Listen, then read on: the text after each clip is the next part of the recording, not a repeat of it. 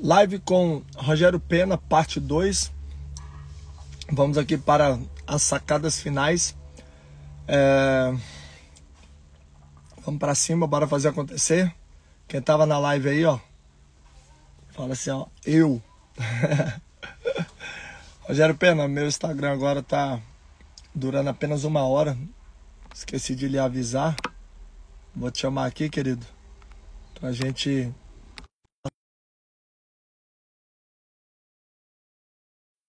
Sejam todos muito bem-vindos. Estou hoje aqui recebendo o Rogério Pena, um dos maiores dentistas do Brasil, mentor de dentistas, inclusive. E hábitos poderosos.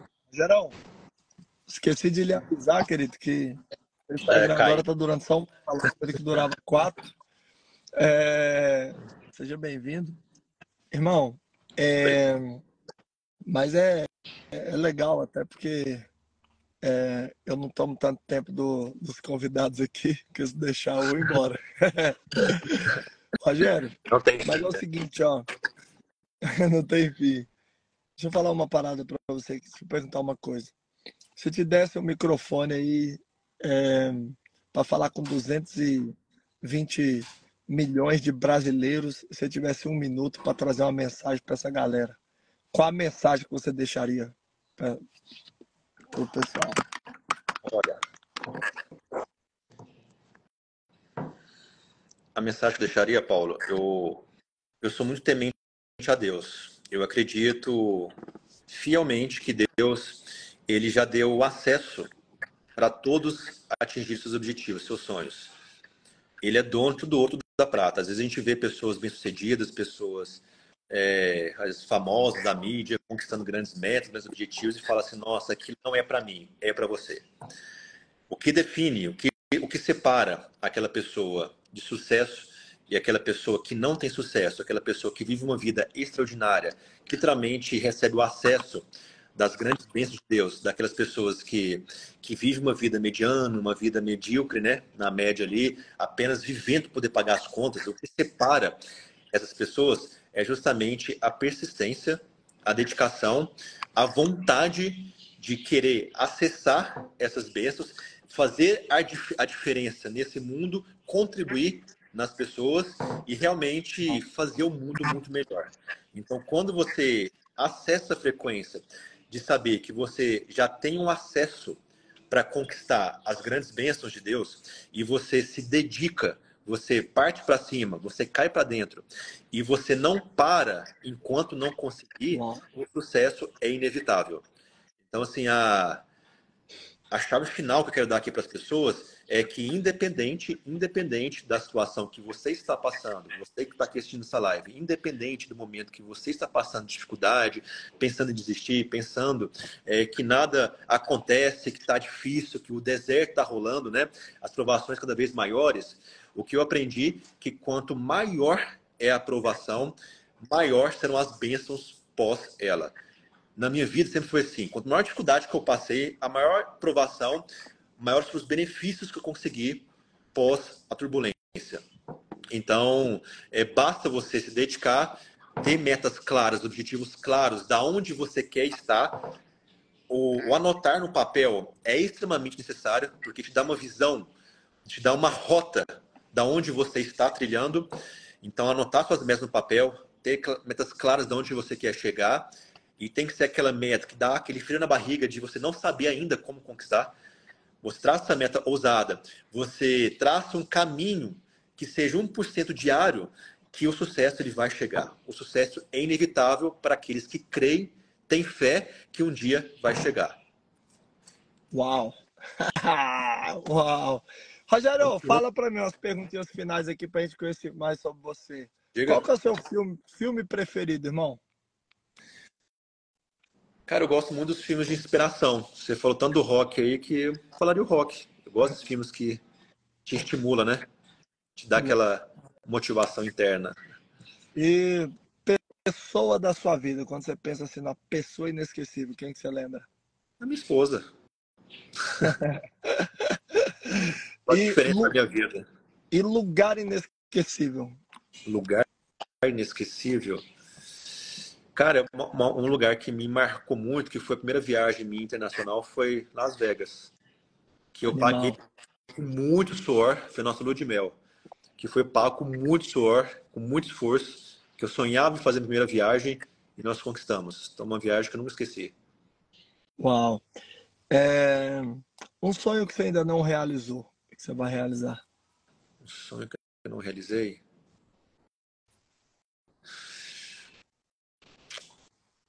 Eu gosto de sonhos grandes, assim. Isso é legal, viu, gente? Quando o cara fica pensando muito assim, é porque aquele cara, que ele tinha lá já foi é, tudo. Realizar, graças a Deus, todos é. eu, eu atropelei meus sonhos também. É, eu tive que fazer novos. Cara, eu, eu, assim, um sonho que eu que tá mais que, eu, que há anos atrás era muito distante, mas hoje é um sonho mais palpável, que era um jato particular para mim. Um Phenom 300 tá, na, tá, na, tá no meu moral. É um sonho que, que é. vai facilitar muito a minha vida. Eu, 2023 foi o ano da Ferrari, esse ano vai ser meu ano do jato. Até 31 de dezembro de 2024, tá anotado. Oh, amém. Tá bem, não um... comprar um juntos, então. Vamos comprar, vamos comprar. Eu, inclusive, vou olhar, assim, que dia você chega? Eu acho que eu vou chegar dia 17 de janeiro. 17 de janeiro. Quando você chegar, a gente vai olhar junto. Bom, é... e... Rogério, e é, o que, que é Cristo para você? Oi? O que, que é Cristo para você? Crítico? Cristo. Ah, Cristo. Jesus Cristo. É tudo. É minha base. É o que habita dentro de mim. Eu não faço nada sem antes conversar com Ele. Eu aprendi a fazer perguntas para Deus, para Cristo, né? Tudo que eu vou acessar, eu pergunto: é, é para é mim? É para eu estar lá? é para eu frequentar esse ambiente. Então, é meu melhor amigo. Cara, é muito louco, é muito louco. Quando você tem essa, essa, essa, esse acesso, né, direto na fonte, é muito louco, cara. Porque você deixa de frequentar lugares que depois você sabe que não era para você. Você deixa de ter amizades para depois descobrir que aquela amizade ia te fazer muito mal. Você deixa de, de, de de fazer uma viagem que às vezes você vai descobrir aquela viagem e ia acontecer uma fatalidade. Cara, é, é, é, surreal, assim. Quando tem esse, esse nível espiritual de fazer perguntas para Deus, de tudo que você vai fazer, Deus, é para isso? É para mim fazer tal coisa? Assim, a sua vida se torna mais leve, sua vida se torna mais fácil. Então, Deus para mim é, é minha base, é meu melhor amigo, é o meu, meu norte. Tudo que eu faço é através dele. É fantástico né? Eu, 2024, falei para minha esposa, até comentei na live aqui. Falei, cara, é legal você ter conselheiros, amigos, pessoas de alto nível e tal. Mas eu falei, amor, não tomo nenhuma decisão hoje. Não, não ouso perguntar para ninguém antes de perguntar para Deus. Porque você que está nos assistindo aí, talvez Deus é a quarta pessoa, quinta para quem você pergunta.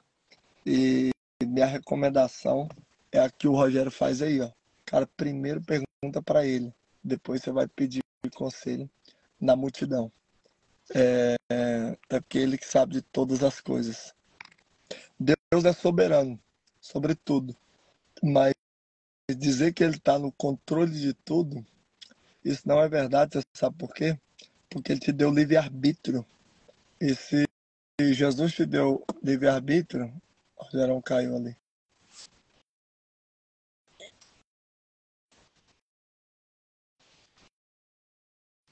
Caiu aí, não, Gerão? Botei? Botou. Eu tava dizendo o seguinte, sabe, Rogério? É, as pessoas têm que falar assim, ah, Deus está no controle de tudo. Cara, a verdade é que Deus é soberano sobre tudo. Mas no controle não, porque ele nos deu livre-arbítrio. Então, é, lembrem que tem um monte de merda que às vezes você está vivendo porque você, no seu livre-arbítrio, porque Deus não criou robôs, né? Deus deu vontade para as pessoas. E aí você faz suas escolhas. E Deus é soberano. Agora, para ele estar tá no controle, você tem que passar o controle para ele a partir das suas escolhas. E aí você vai ver coisas poderosas nele, coisas extraordinárias. E é o que eu desejo para a vida de vocês em 2024 para que seja o ano mais extraordinário da sua vida até bater o dia 31. Que aí você faz 2025 superar 2024. Amém.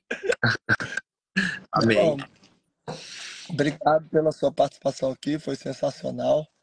É, você que está nos assistindo aqui, ó, e quer conhecimento específico, direcionado para você faturar de 10 a 50 mil reais por mês, sábado eu vou dar uma aula sobre isso, vou te mostrar negócios na prática para você viver deles. Escreve sala aqui e faz o pagamento aí. É uma taxinha de 47 reais só para eu garantir que você não vai faltar.